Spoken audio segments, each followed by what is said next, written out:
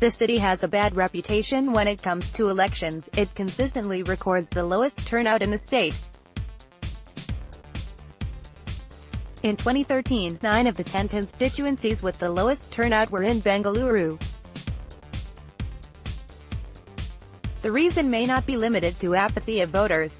It could also be because electoral lists are replete with errors and duplication. Bengaluru vs.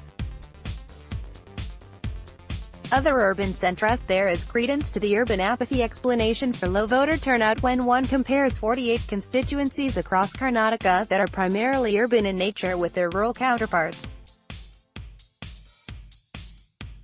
In the 2013 assembly elections, these 48 constituencies recorded just 55.81% voter turnout, nearly 17% lesser than the average turnout in the remaining 176 constituencies where rural voters are present in large numbers. Data shows that there is little difference between the turnout in the state capital and other cities, implying that apathy is not a Bengaluru-only phenomena. However, what causes the apathy? There is no indication in the Karnataka Attitude Survey, conducted by the Election Commission of India, where Bengaluru's attitude to voting is just slightly more apathetic when compared to other cities.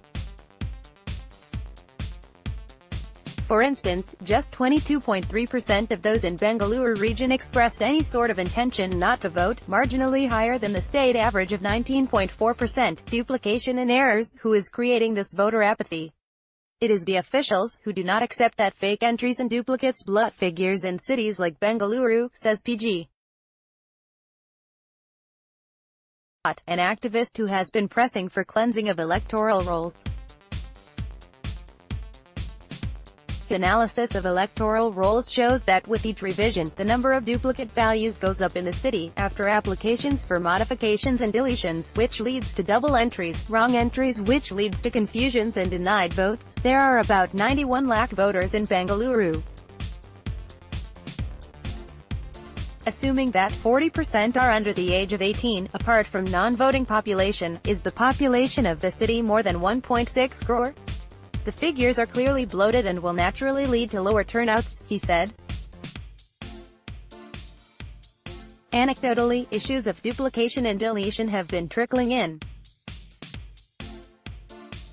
Anjali Saini, a member of Whitefield Rising and the Million Voters campaign that was launched following mass rejections of voter application forms from the area after the municipal polls, says that in just one part, of around 250 voters, in Bellandur, around 40 duplicates have been found. In some, there are different voter ID cards and these may be misused, she says.